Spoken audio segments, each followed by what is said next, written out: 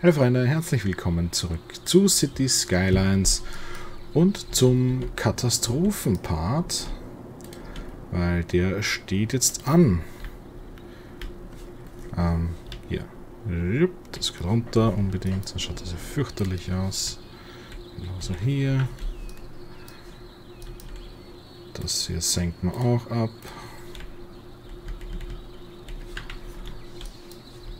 Da weiter verfahren, werden wir dann sehen. Ähm, ja, warum Katastrophenpart? Wir haben ein Erdbeben der Stärke 7,9 im Anmarsch. Und zwar im Anmarsch auf eines unserer großen Stadtteile, auf einen unserer großen Stadtteile. Da wo auch die Universität steht. Nämlich hier. Da, da wird nicht viel übrig bleiben von dem geht, zieht sich auch gleich bis darüber. Also ich kann mir vorstellen, der Bereich, der hier dunkelrot eingefärbt ist, wird komplett vernichtet. Das heißt, wir werden gleich nicht mehr 74.500 Bevölkerung haben, sondern vielleicht gleich nur noch 60.000 oder so. Wir haben nämlich auch nur ein kleines Evakuierungsquartier dort, also da werden sich nicht viele retten können. Wir machen erstmal hier gemütlich die Autobahn weiter und ignorieren die Gefahr. Wir tun einfach mal so, als wäre das nicht hier. Auch wenn wir dem wahrscheinlich nicht lange entkommen werden. Das heißt, unser Katastrophenschutz hat das dann gleich einiges zu tun. Oh, ich habe festgestellt, man kann das hier drehen. Je nachdem, wie man es braucht. Kann ganz hilfreich sein.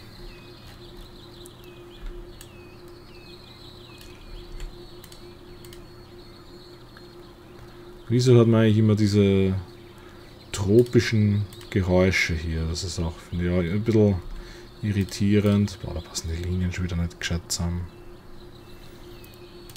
Wir sind hier nicht im Urwald.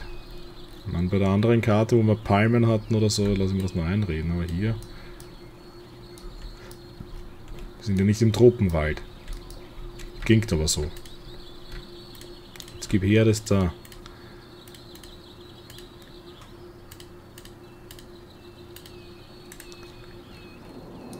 Schön.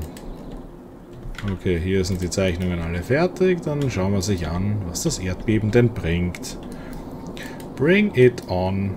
Vernichte einfach alles. Zerstöre einfach unsere Stadt.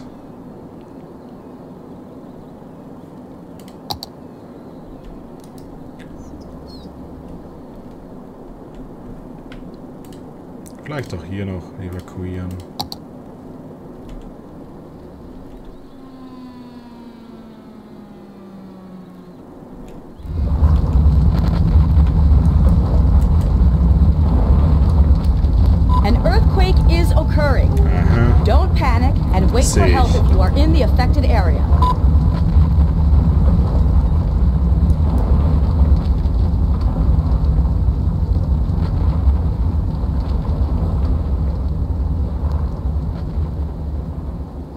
Okay, das war deutlich weniger schlimm, als ich erwartet habe.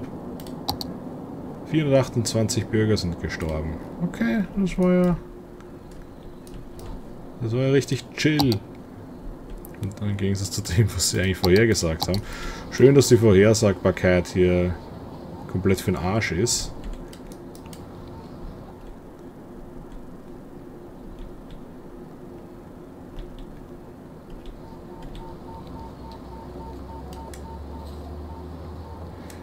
Genügend Erde, ja toll. Ähm, unser Universitätsbezirk bleibt aber bestehen, ja, okay. So, dann bauen wir das Ganze wieder auf. Das war eine Allee mit Bäumen. Bitteschön. Erstmal die Straßen hier wieder herstellen.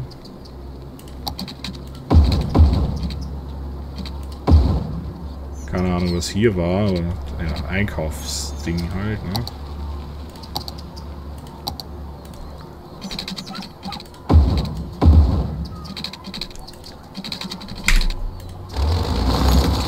Bitte keine Brücke hier, danke. So, Universitätsbezirk ist nämlich hier.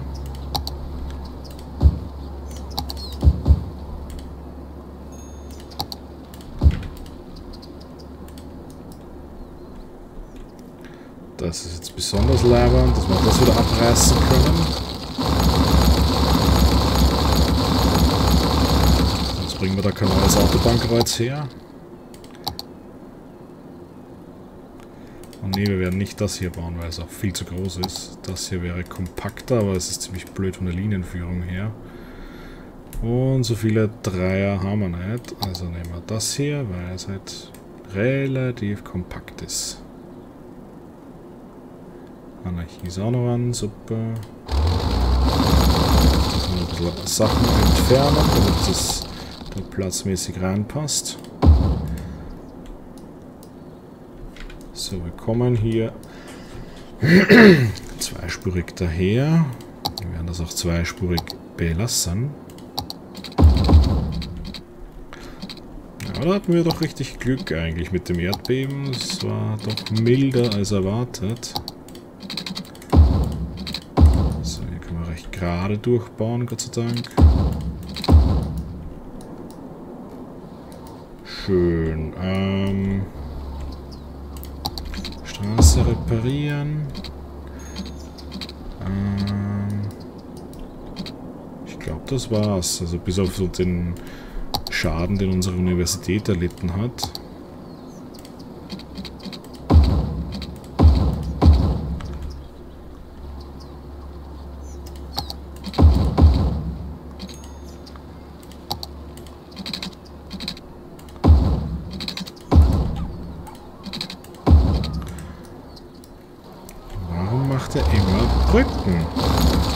Spiel liebt Brücken.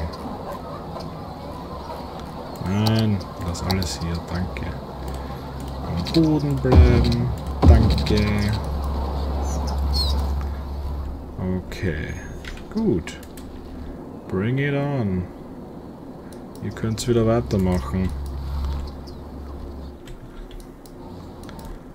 So, das ist klar. Hier gibt es keine Dings. Die können jetzt alle wieder nach Hause gehen.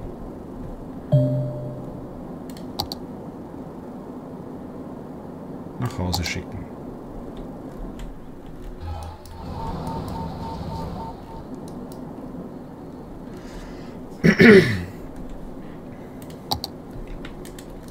Da sind auch schon die Hubschrauber.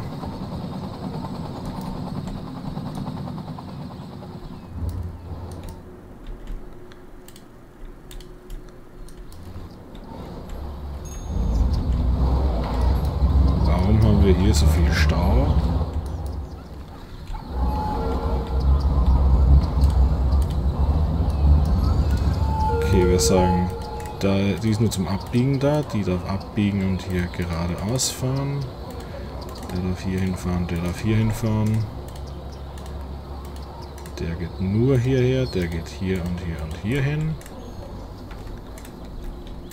Das verbessert hoffentlich die Verkehrssituation hier ein bisschen.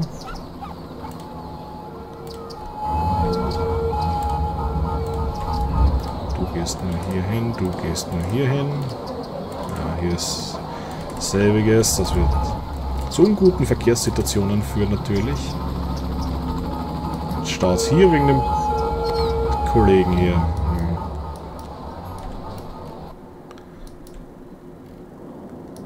Okay. Schön. Also wir haben auf jeden Fall mal das Erdbeben überstanden. Das ist das Wichtigste zeichnen wir hier wieder die Linien neu.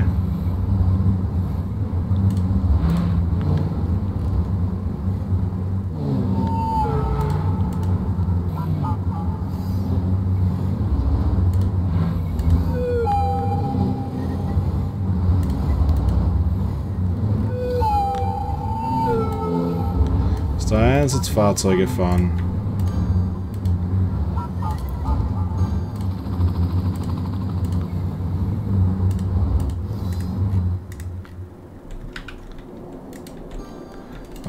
Die Wasserleitungen zerstört worden zum Teil.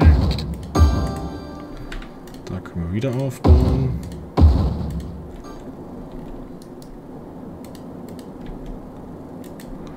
Tja, und damit hat sich das eigentlich wieder erledigt, oder? Oder Stadion hier ist ihnen scheinbar zu laut. So, wir machen einstweilen hier die Linien neu.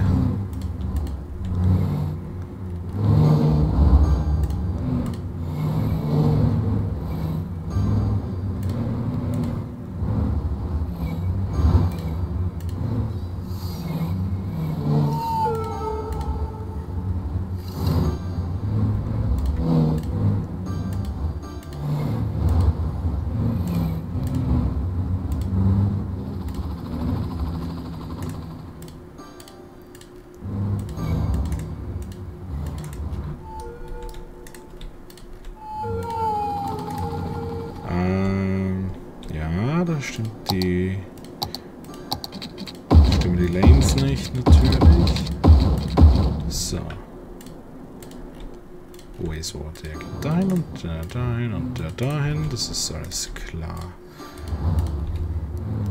Der geht dahin, dahin, dahin.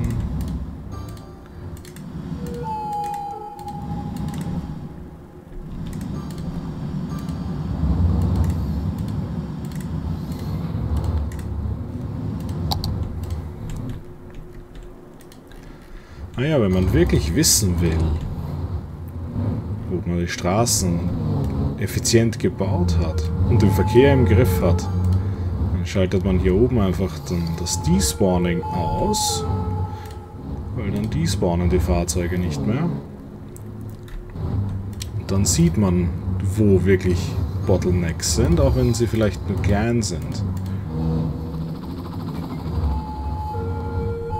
Hin und wieder... Warte mal. So. Hin und wieder fällt es uns gar nicht auf, weil halt die Fahrzeuge einfach despawnen, wenn sie zu lange brauchen. Und das passiert halt dann nicht mehr. Und wenn die im Stau stehen, dann stehen die. Und dann bleiben die da.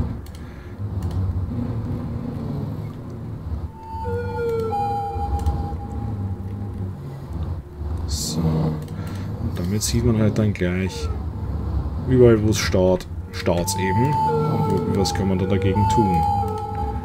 Wie kann man es effizienter gestalten?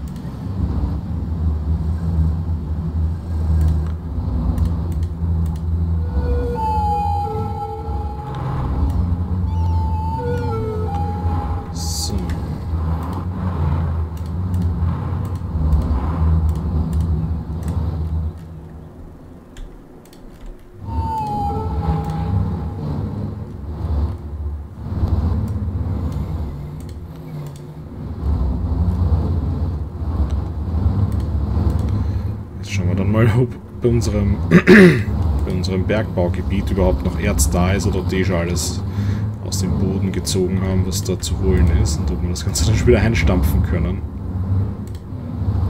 Oh, wir machen aber gerade massiv Plus, sehe ich. Ich frage mich, ob das von denen kommt, weil bei der, ähm, bei der Landwirtschaft ist es halt schön, weil denen gehen halt die Rohstoffe nicht aus. Ne? Das sind keine keine Rohstoffe, die verbraucht werden. Was da halt ist, ist da, im Gegensatz zu denen hier. Oh, oh, oh, oh, da jammern es schon über sich anhäufenden Müll. Unser Recyclingzentrum. Interessiert nur niemanden. Okay, fertig, brav auf seiner Spur. Und hier wird es immer weniger. Ist kaum noch was übrig. Hier ist noch ein bisschen was übrig. Da müssen wir dann wieder umschachern.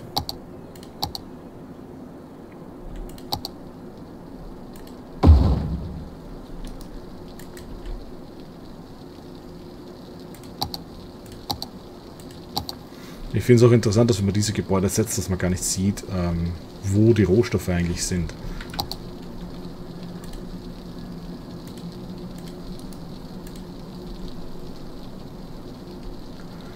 Import. Ja klar, das muss natürlich dann nachher importiert werden. Hilft ja nicht.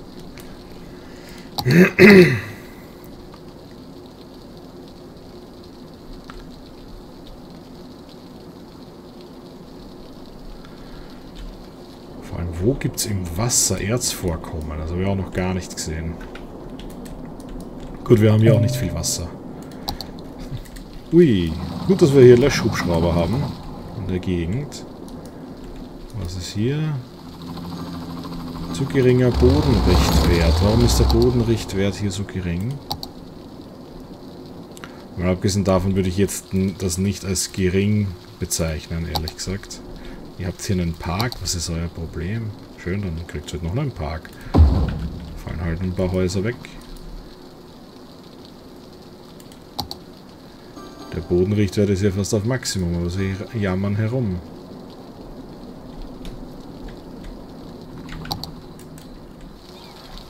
Da ist noch was kaputt.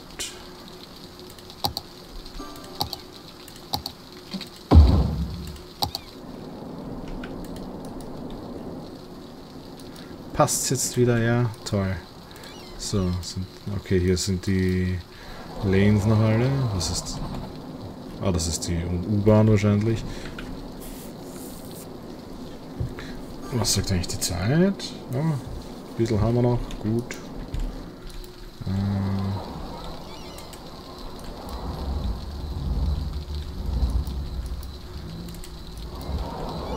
es staut hier ein bisschen mehr. Aber es passt alles. Es haut wieder hin. Hier ist den Leuten ein bisschen zu laut wieder. Jo mei.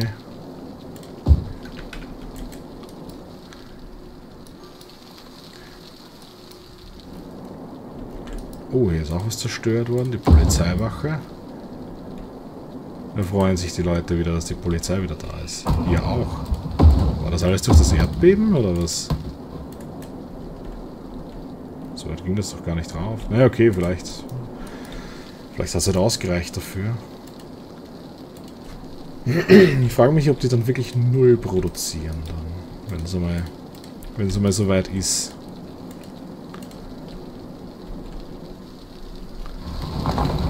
Hier stapelt sich immer der Müll. Dabei ist hier extra ein Recyclingzentrum, das noch nicht einmal ausgelastet ist. So. Es noch mehr Recyclingzentren? Tu jetzt was. die fahren schon. Hm. Schaut hier aus mit der Lautstärke. Ja. Lautes Gebiet, vor allem hier die Autobahnen. So, ja, das wird hier noch interessant werden für die... Achso, das sind keine Wohngebäude. Haha. Praktisch. Ähm, ah ja, und wir wollen hier weiterbauen. Okay, dann beginnen wir mal damit, hier ein bisschen abzutragen. Nicht zu weit, weil da drunter fährt die Bahn. Könnte sich das auf die Lautstärke auswirken, wenn ihr da drunter fahrt? Schauen wir mal, das hier mal ein bisschen smoother gestalten.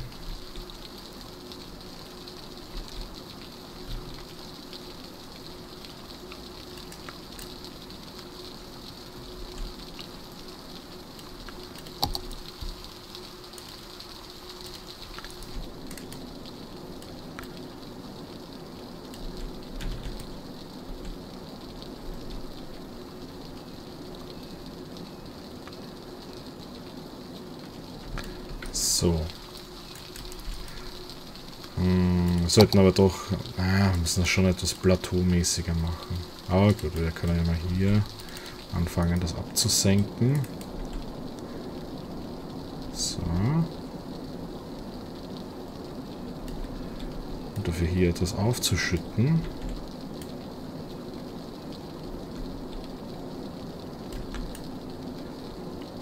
Brauchen hier ein größeres Gebiet dann.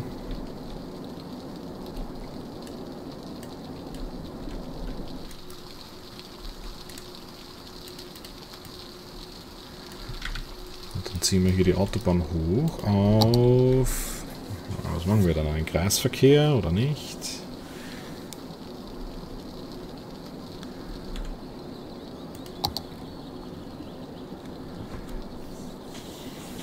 Hm.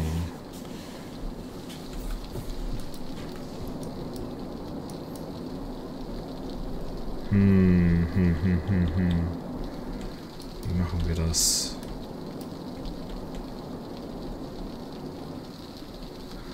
Schließen wir das einfach direkt an eine fette Straße an. Ich glaube, das ist gescheiter.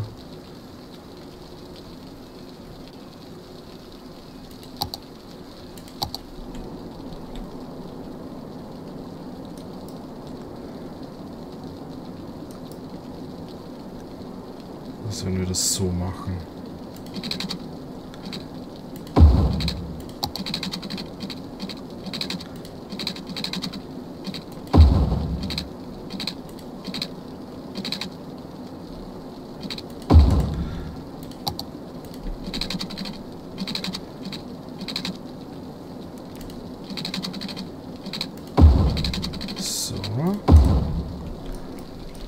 Hier bauen wir dann links und rechts hinein.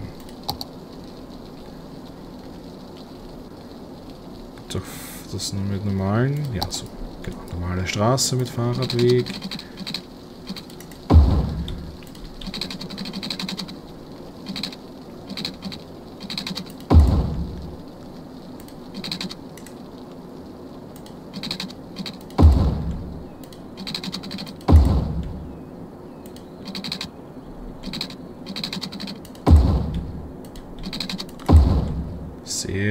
Dicht bebauen hier. Und wir das auch vernünftig nutzen. Es wird eine hohe Bevölkerungsdichte. Und hoffentlich packt das die, die Hauptstraße. Und bei Extend die Autobahn.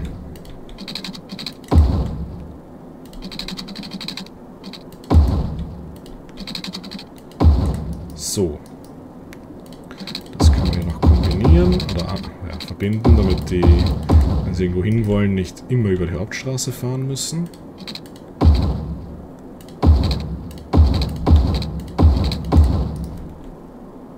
Warning. Experts predict an earthquake could hit the area soon. Again. Okay, jetzt müssen wir dann das hier umbauen.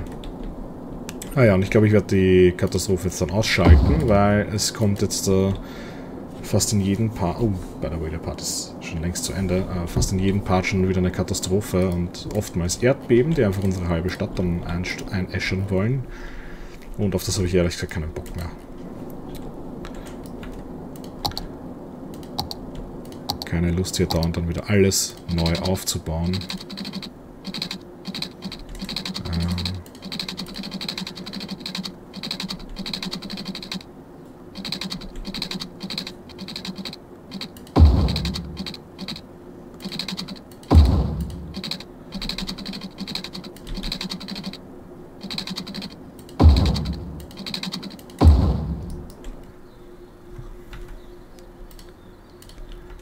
So, wir werden jetzt... Äh, ja, wie gesagt, der Part ist zu Ende, Freunde. Ich bedanke mich fürs Zuschauen und sage bis zum nächsten Mal.